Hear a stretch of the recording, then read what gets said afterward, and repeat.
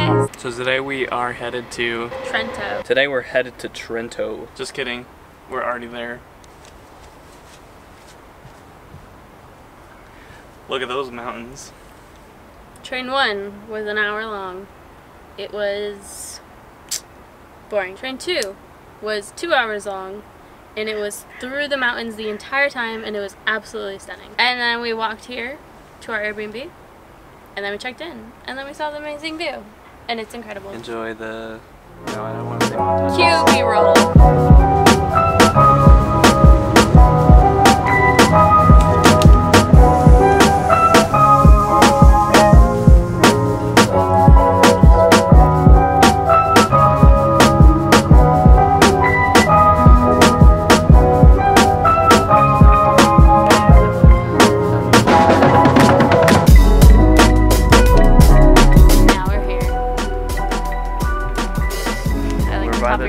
by the Dolomites. Let's show our Airbnb.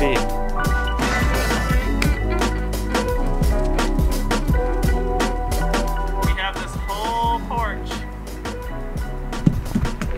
Goes that way. And back this way. And more porch. And